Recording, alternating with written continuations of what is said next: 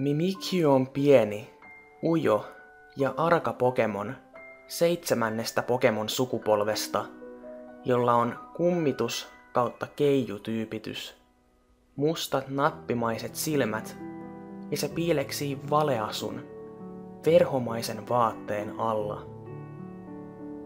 Valeasun ensimmäinen tarkoitus on suojata sitä auringon valolta, sillä Mimikyu vihaa sitä ja sen terveys heikentyy siitä. Tämän takia se elää mieluiten pimeissä paikoissa, kuten luolissa tai hylätyissä raunioissa. Valeasun toinen tarkoitus ilmenee sen kyvyssä Disguise. Kyky, mitä millään muulla Pokemonilla ei ole. Kyky antaa Mimikyyn karata vahingosta yhden kerran, jonka jälkeen sen esiintyminen taistelukentällä muuttuu hieman. Valeasun näkyvimmät tarkoitukset ovat siis tämän pienen Pokemonin suojelemisessa erilaisilta vaaroilta, mutta pinnan alla piilee muutakin. Valeasun kolmas tarkoitus on kerätä huomiota. Itse asiassa Mimikyu ikävöi huomiota tavalla, mikä voidaan kuvailla vain sydäntä särkevänä.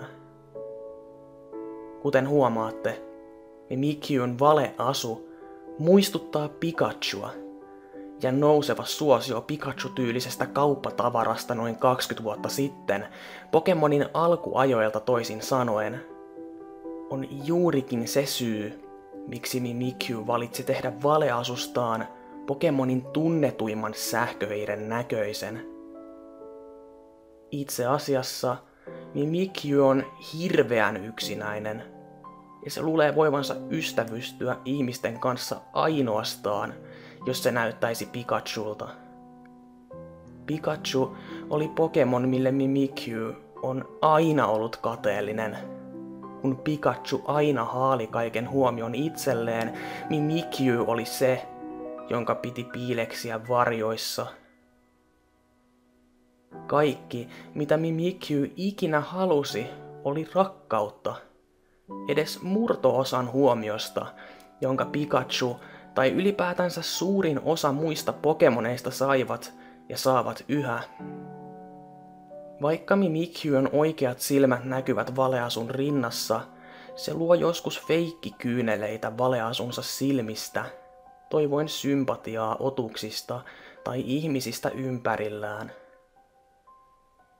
Ihmiset Alola-alueella ovat vakuuttuneita siitä, että jos Mimikyön valeasun alle kurkistaa tai valeasun poistaa sen päältä, mystinen sairaus tai kirous lankeaa kenen tahansa ylle, joka näkee sen aidon olemuksen. Tämä on suurin syy, sen yksinäisyydelle, ja vaikka oletettavasti jotkut ihmiset ovat tämän pienen Pokemonin kohdatessa nähneet valeasun alle ja tulleet kirotuiksi tai sairaiksi, niin Mikyu itse on kärsinyt tästä eniten loppupeleissä. Se on surullinen, huomatessaan kuinka se taas vahingossa – aiheutti ongelmia hänelle, jonka kanssa hän halusi olla vain ystäviä, ketä hän oikeasti olisi vain halunnut suojella.